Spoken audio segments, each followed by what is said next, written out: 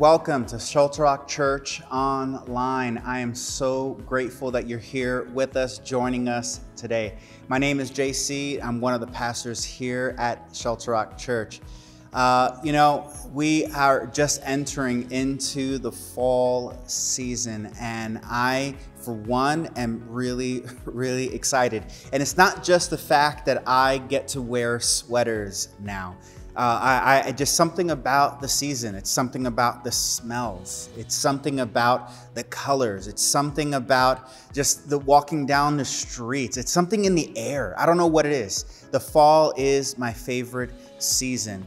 Uh, every year, I look to try to do better than a year before about I don't know going for walks or or checking out new places on Long Island, like where, where I'm at from. Uh, I, there's just something about it. Uh, I, I, try to take my kids out, and they are frustrated with me, and they're probably too old to be taking apple picking at this point. They're all teenagers, but I still try to do it. It is something about this season.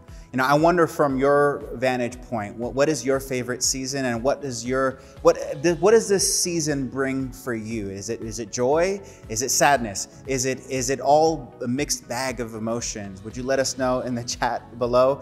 Uh, let me just share a story. You know, this week uh, as I was thinking about the season, we tend to be in a bit of uh, it's a mixed bag for us because you know soccer starts and and and in, in the church world you know we do tend to get a little bit busier and and uh, and I'm, I'm, I'm have all sorts of hours and things are happening in our in our home life and in, in work life and my wife at work it, it is busy but I'm always trying to find space to get away and, and, and take it easy.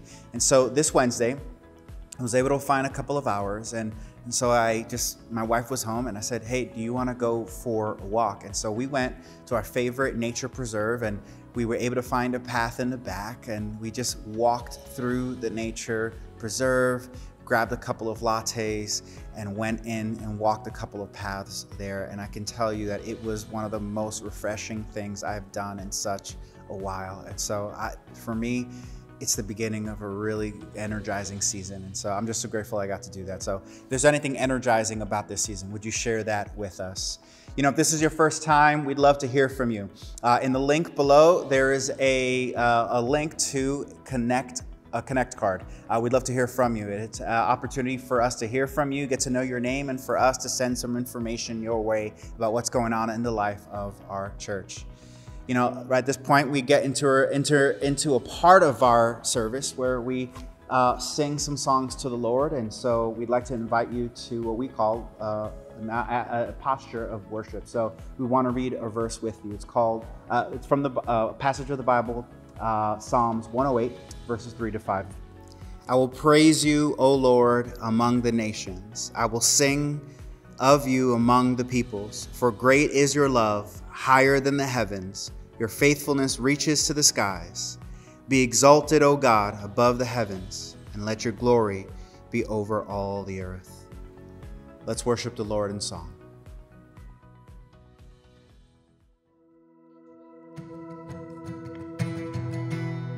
Hallelujah, Lord. We welcome you in this place. We welcome you, Lord. Receive worship and honor, Lord. so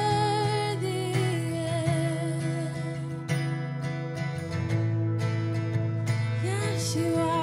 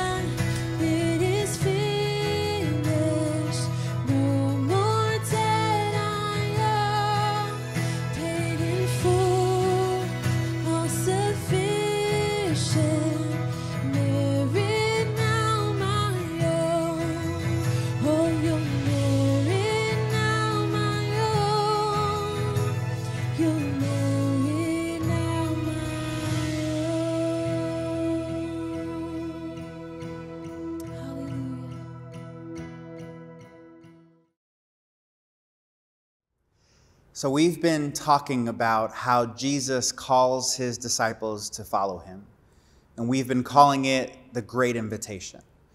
What's unique about this invitation is that he doesn't just call individuals for one to one time with himself. Instead, he calls men and women into community to do life together, to follow Jesus together, to learn from Jesus together, to be changed together, to be on mission together. Moreover, Jesus doesn't even call people who are like each other. When we think about doing community with other people, we tend to gather with those who are most like us, those who are in our own age group or stage of life, those who like what we like and do what we do and share our interests. When we think that community is about making friends, it's our vision. But Jesus' vision of community is more about transformation. So he invites diverse people with diverse backgrounds to himself. In fact, we see this in his group of 12. There's a tax collector, a zealot, and the rest are fishermen and laborers, all bound to each other because of one thing a commitment to follow Jesus. And so we have this unique window of opportunity this week. Community groups are launching all across of our, our campuses, and we have been inviting everyone this month to join community groups. And what are community groups? They are one of Shelter Rock's discipleship pathways. They are a gathering of people committed to pray together, to study scripture, and nurture safe environments that foster vulnerability and accountability and care for one another. Community groups are an extended spiritual family led by ordinary people who live in everyday gospel community, engaging in the practices of Jesus together and living as missionaries within their network of relationships. This is where Jesus calls us to be. Jesus calls us to follow him into community. So our ask is simple. Each of us at all of our campuses are going to be asked to make a selection from one of our community groups that are made available to you to choose from. And after service today, you're going to get an opportunity to look at these options and perhaps make a choice. You know, my prayer is for you maybe to consider, maybe God is asking you to make one of these life changing commitments to join a group to look at something around your area, to look in your region, and to consider might this be a season that God is asking you to join a community group? My hope is that that answer is yes, that you would join God or, or accept Jesus' invitation, do community with Him. say yes to community. Say yes to a community group here today. If you want to find out more about our community groups, you can go to our website at shelterrockchurch.com backslash community. I'm so grateful for all that's going on in the life of our church. Uh, and another opportunity that we're given here to worship the Lord is not only in song and not only in community, but we're also here at Shelter Rock. We also believe that that that giving is an act of worship to the Lord. You know, we can't outgive our Father. He's given us every good gift here on this good earth. And so uh, we consider it a, a pleasure, an act of joy, an act of worship to give to the Lord. There are a few ways to give uh, online, and if you ever come in and visit us here at one of our campuses, you can give uh, while you're here visiting. Uh, you can give online through our website, shelterrockchurch.com backslash give. Again, we're so grateful. Now we're uh, going to enter into a time of word, and today Pastor Blake's going to be sharing uh, in a continuation in our series, The Great Invitation. And so, if you would, uh, let's read in Matthew chapter 4, verses 18 through 22. As Jesus was walking beside the Sea of Galilee, he saw two brothers, Simon called Peter, and his brother Andrew. They were casting a net into the lake, for they were fishermen. Come, follow me, he, Jesus said, and I will make you fishers of men. At once they left their nets and followed him. Going on from there, he saw two brothers, James, son of Zebedee, and his brother John. They were in the boat with their father Zebedee, preparing their nets. Jesus called them, and immediately they left their boat and their father and followed him. Got my walking shoes on. I can't tell you where I'm going, but I'm walking down this lonely road. But at least the scenery is beautiful. And no matter what I do, I can't stop walking. No, uh, I know it's the only way to go. And if I keep walking, I'ma be okay. Uh. It's not always about knowing why, sometimes it's all about knowing what, and that's enough to keep you walking every day. Yeah, I believe, I believe.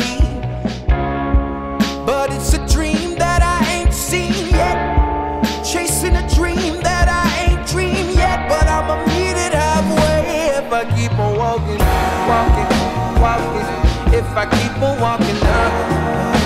Yeah, I know it when I see it walking, walking, walking. When I see it walking up. Walking shoes, walking shoes. Step two, step two, step three, step one. Well, hello, Shelter Rock family, and welcome to all of our new family or first time digital guests.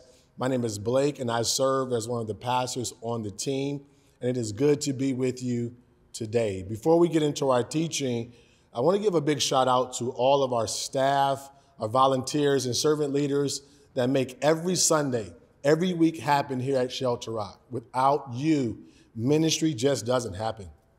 So thank you so much for responding to Jesus' invitation to follow him on mission to reach New York City and Long Island with the gospel. We are so grateful for you. In 2005, Hurricane Katrina, the most devastating natural disaster this country has ever seen, hit the Gulf Coast. And much like 9 11 here in New York, it changed life for people in that area forever.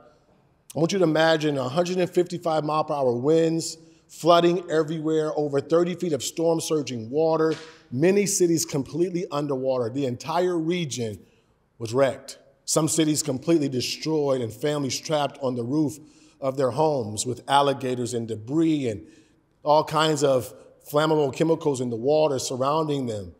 People even passed. Families like three year old LaShay Brown with her mom and, and dad, along with her four siblings, were trapped on the roof of their home for days with no help in sight. Until a United States Air Force pararescuer named Mike Maroney, who was battling PTSD at the time, was a week into his rescue mission in New Orleans when he saw the urgent need of this girl and her family, and he was lowered from a helicopter on the roof. And even while battling with his own personal struggles, Master Sergeant Maroney put himself in harm's way. He put his life on the line, and with a sense of urgency, he responded to the invitation to go on mission, to serve and rescue people that he didn't even know. No one had to coerce him. No one had to force him. He willingly responded to the call. He saw the great need and moved with urgency. At this point, you might be saying to yourself, this sounds like a moving story, but what does this have to do with our teaching this week? I'm so glad you asked. In many ways, LaShay Brown and her family's story represent the stories of people that we know and love and people that we live around, work with, go to school with, even people we don't even know. Human beings who are made in the image of God, but are now separated from God, alienated from the life of God, the help of God, and the hope found in Jesus, who is the only one who can supply everything that we truly need. While Sergeant Maroney's story his response is a perfect example of what it looks like for the people of God, both you and I, to see this urgent need and to hear Jesus' invitation to come, follow him, to be changed by him, and to go on mission with him, to seek and to rescue people who are trapped in life without him as he transforms us to be more like him. This is where we find ourselves in our text today. It's let's do something about it day It's let's not just say we're disciples of Jesus and do nothing but go to church or just go about our day. It's let's truly be disciples of Jesus by responding to his great invitation to come, follow him, and let him transform us into people who bring more people to him. Now, in our text today, we have already seen that what it means to be a disciple of Jesus is to be a person that comes to Jesus, follows Jesus, is being changed by Jesus, and is on mission with Jesus. This week, we get to learn from Jesus' first disciples how we should respond to Jesus' great invitation to come and follow him. And we look at their responses. I want us to see that we should respond in these two ways. We should respond with urgency, and we should respond sacrificially. But first, we should respond with urgency. In Matthew chapter 4, verses 18 through 22, it says, While walking by the Sea of Galilee, he saw two brothers, Simon, who was called Peter, and Andrew, his brother, casting a net into the sea, for they were fishermen. And he said to them, Follow me, and I will make you fishers of men. Immediately they left their nets and followed him. And going on from there, he saw two other brothers, James, the son of Zebedee, and John, his brother, in the boat with Zebedee, their father, mending their nets. And he called them. Immediately they left the boat and their father and followed him. In verse 19, the text says that immediately they left their nets. And again in verse 22, immediately they left the boat and their father. Jesus gives the invitation and they responded with urgency.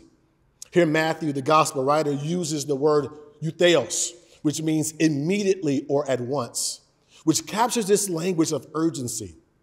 It's the same language that is used in Mark chapter 7 when Jesus puts his fingers in, in a deaf man's ears who could hardly speak, and immediately his ears were opened. It's the same language that is used in Luke chapter 5 where Jesus touches a man with leprosy, and immediately the leprosy left him. Or in John chapter 5 where Jesus says to a man who could not walk, Get up, and at once the man was healed. This is the language that is used time and time again in the ministry of Jesus to display the urgency of Jesus' work. In the same way, it is used in this situation to emphasize the disciples recognizing and responding with urgency to Jesus' invitation. But we don't know for sure why the disciples responded this way. The best we can do is draw from what we know about both the beauty and the urgency of Jesus' invitation as well as the deepest needs of the disciples themselves and all of God's people. Perhaps they were drawn to the beauty of the fact that Jesus was inviting them to be a part of this new thing, this coming of the kingdom of God on earth, where God is gathering his people from all over the world, and Jesus has chosen them to be a part of that mission. It's like a king inviting you to be a part of his royal cabinet, to help him advance and build his kingdom. If you think about it, there would be many great and desirable things that would come with this kind of opportunity. I mean, at some point, you would be living the good life, right? You would have great impact or great influence or favor or privilege, but how about the joy of the opportunity just to be close to the king? Maybe this is what they were drawn to. Or maybe they were drawn to the fact that they had an urgent need for salvation themselves, that only Jesus the Messiah could give And in the same breath, perhaps they were drawn to the urgent need that all of their people, God's people, have of a Savior, the only one who can rescue them and us from being trapped in a life without God in it. Like maybe they saw themselves and everyone that they knew and loved as trapped in a house that is burning down or a boat that is going under with no life jacket, no rescue boat. And Jesus is the only one that can pull them out. We just don't know for sure. But even though we don't know for sure, what we do know is that both illustrate clear pictures of what a life spent following Jesus, being changed by Jesus, and being on mission with Jesus is like. On the one hand, we respond to Jesus' invitation to come and follow him because we have a desire deep within us to have a life that is full of moments where we experience great joy and peace and purpose, to have great influence and, and impact and favor. And we just want to be close to God, to have all of the amazing joys of just being close and walk in an intimate relationship with the King of the universe. And we find that only in Jesus. While on the other hand, we respond to Jesus' invitation to go on mission with him, to catch people out of a burning house, because we see the urgency of our own personal need for a Savior and the urgent need for the people that we know, love, and live and work and worship with. And so we should respond with urgency, like the disciples, because we have an urgent, desperate need for Jesus ourselves. And there are people that we know, love, live, and work and worship with that have an urgent need for Him too. And we should respond with urgency because we are drawn to Jesus. He's the only way that we could have an intimate relationship with God and a life that is full of hope and, and joy and peace and purpose. It's through Him. Family, I invite us not to fall into the trap of thinking that, oh, we have time, or I'll get to that later. No, scripture says now is the time. Today is the day when we hear his voice calling us to himself. We should respond with urgency. We should say yes to Jesus' invitation to come and follow him as we move towards people, love them and serve them, and be about the mission of bringing people to him. Next, we'll see that we should respond sacrificially. Again, Jesus says, Come, follow me. And immediately they left their nets and followed him. Jesus called them, and immediately they left their boat and their father and followed Jesus. Again, Jesus makes the invitation, they respond sacrificially. As we learned in week one, Matthew uses his word aphentes, left, which means to abandon someone or something, even beliefs. But this language of abandonment is not the kind of abandonment where we leave behind or let go of something obvious that we should already want to let go. No, not at all. This is a letting go of something that requires us to sacrifice, something that we want to hold on to, like our comforts or some relationships, maybe, or our valuable time, treasure, or trust. This is the same language that Jesus uses in Matthew chapter 8, verse 22, when someone was giving excuses of why they couldn't follow Jesus. Jesus said to them, Follow me and leave the dead to bear their own dead. It's the same language which says that in Matthew chapter 18, verse 12, that Jesus will leave the 99 sheep and search for one, the one who went astray. It's the same language that Jesus uses when he says in John chapter 14, verse 18, I will not leave you as orphans, I will come to you. This language captures the sacrificial nature of what it means to respond to Jesus' invitation to go on mission with him. In other words, there's a cost to do business with Jesus. You know, I'm sure we've all seen the sorry, we're closed sign before, right? I mean, if we're being honest, there are very few things more frustrating that causes us some discomfort or even flat out hurts us than driving miles upon miles after thinking all week and planning all week to go to our favorite store or restaurant or venue only to see a sorry, we're closed sign. Or how about working your whole lives to build a business only to have to hang a sorry, we're closed sign over our own business. Well, this is what Matthew, the one who wrote this gospel, had to do. This is what Andrew and Peter and James and John had to do in order to follow Jesus. They closed the shop, they left the business behind to follow him. It cost them something to go on mission with Jesus. Do you think that they felt like it was worth it? even if they didn't know everything that it would cost them to follow Jesus? You know, I think that the closer they got to Jesus, the more time they spent following him, the more Jesus changed them. And the more they saw Jesus transform the lives of the people, they saw Jesus as worth the cost. In fact, I came across a quote from John Piper that I think captures what we all come to realize the more time we spend with Jesus, even without all the details of what it would cost to follow him. John Piper says, Jesus requires commitment to the highest possible cost. And nothing later is going to surprise you then because you've already sold, totally sold, to the highest, most excessive cost. In other words, you don't need to know the specifics of the cost in your own particular case. If the agreement you sign is, I'm yours at any cost. Family, this is what it looks like to respond to Jesus' Jesus regardless of the cost. It's seeing Jesus as worth more than what we sacrifice. And so the question for us becomes what is Jesus calling me to sacrifice? To go on mission with him, to catch people from the burning building, the boat that's sinking. Could it be some valuable time? Could it be using our gifts and abilities and experiences and even our treasures to serve someone locally or abroad? Could it be stepping out of our comfort zone and being willing to be uncomfortable for a season? Or could it mean giving up some control of our lives and completely surrendering that trust, that control to Jesus? Whatever it is, whatever that thing is for you and for me, we should respond to Jesus' great invitation to follow him sacrificially. But here's the good part this is where what Jesus invites us to comes face to face with the gospel. Jesus never calls us to do something for him or for someone else that he hasn't already done for us.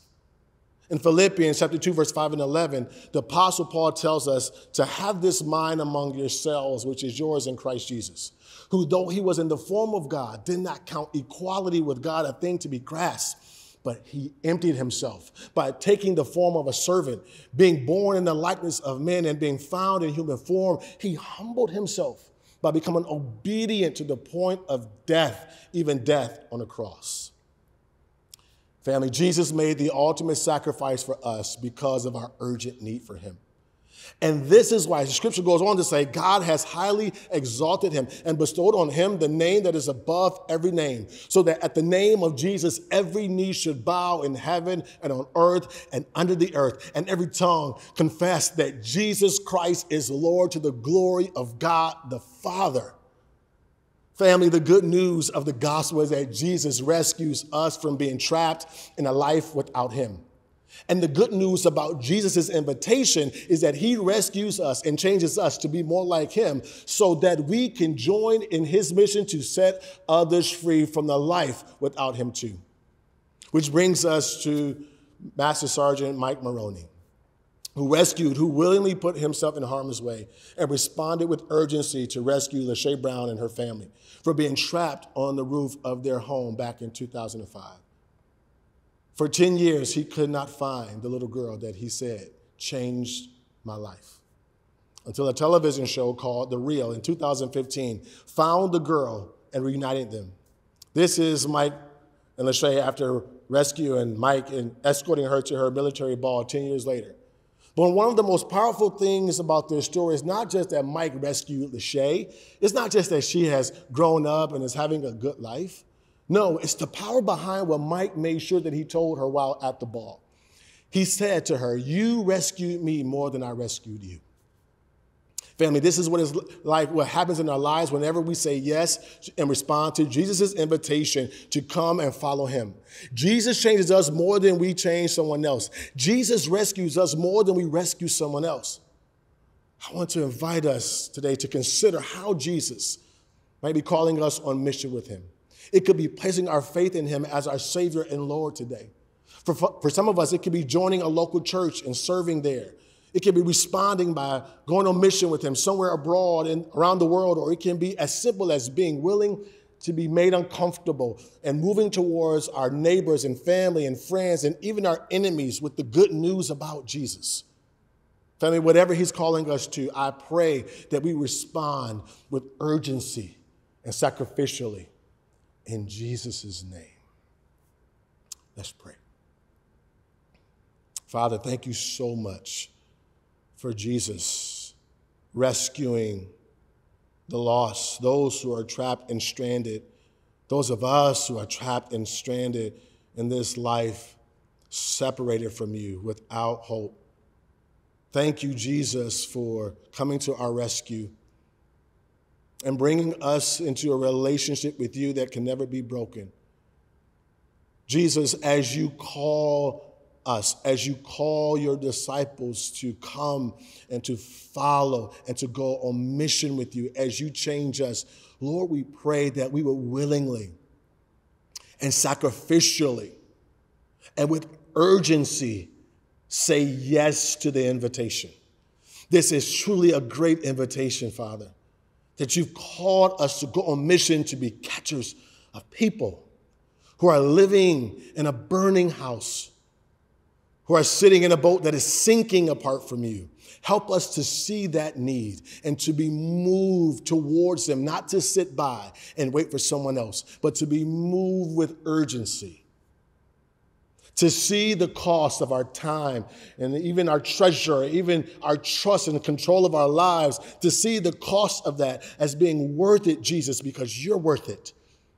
You're worth having those who don't know you come to know you and live in an eternal relationship with you. Help us, Holy Spirit, to respond to the call to come, follow Jesus as a way of life. It's in Jesus' name I pray. Amen.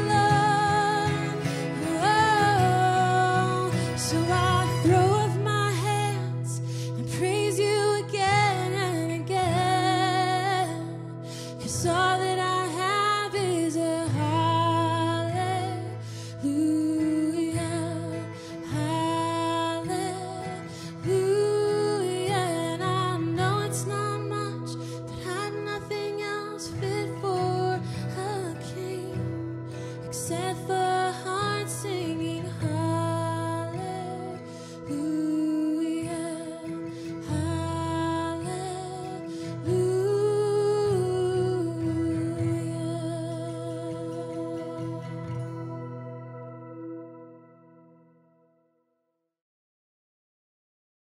Thank you, Pastor Blake. You know, one of the things that impacts me most about this passage is just the immediacy or the urgency of these disciples. You know, we read that they immediately dropped their nets, they immediately left their boats, they immediately left their father. And I just begin to wonder what, what, part of our own lives is there a sense of urgency or immediacy to leave the things that are going on in our life to follow Jesus? What is your response today? Like, how are you responding to the call or the great invitation? I know when I was younger, when I first heard the response that to not only accept his invitation to follow him with my life, there, there, were, there were multiple times in my life to respond to him to serve, to respond to him to lead, to respond to his call uh, to, to, to, for, for many spaces in my life, to just be the person that God was calling me to be. There is some step that you need to take in your life today, and I'm wondering what that step is for you.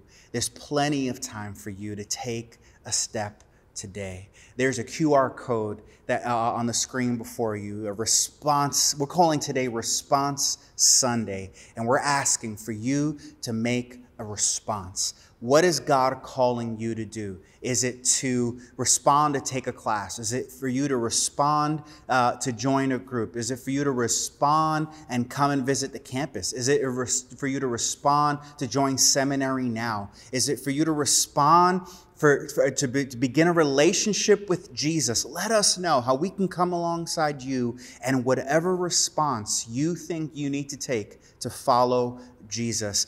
Don't wait another minute. Respond to Jesus now with a sense of urgency, with a sense of immediacy. Do that right now. Don't wait another moment. Let us help you. Let us help, help you take that step today. And we don't ever want to close a, a, Sunday service without giving you an opportunity to, to let us pray for you. So if you want to, in the link below, there's also uh, in the bio below, there's a link to a prayer request form. If even if that step for you is to say, letting us know how we can pray for you, we want to make that opportunity available to you. So you can click on the link, let us know by prayer request, and if it's a response, if today God is urging you to take a, a next step, we want to know what that step is for you and how we can come alongside you to take that immediate step today. We hope that God has been urging you to take a step to follow Him in this season of your life. We love God bless you. We can't wait to see you next week.